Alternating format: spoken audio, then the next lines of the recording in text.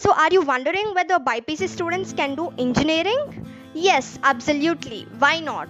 There are a variety of engineering career options that are available even for the BIPC students. Doctor profession is not the end of the game. There are still variety of options that BIPC students can choose.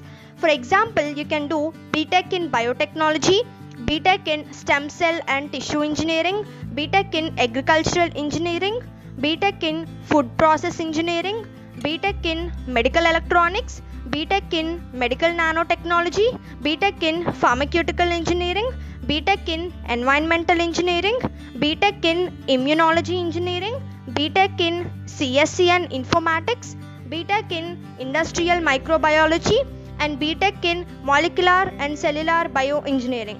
So, see, there are variety of options that are available for BIPC students. So, do subscribe to our channel and follow it for regular updates on each and every course. Thank you.